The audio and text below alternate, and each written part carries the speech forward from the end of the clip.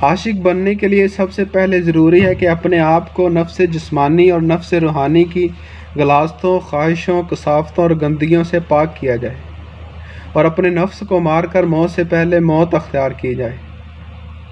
जब आशिक इन तमाम चीज़ों से अपने आप को पाक कर लेता है तो वज़ू इश्क कर लेता है। और ये वज़ू ऐसा वज़ू है जो रोज़े अव्वल से लेकर महशर तक जारी रहता है और इससे नमाज़ इश्क अदा करता है। बतौर मिर्ज़ा गालिब।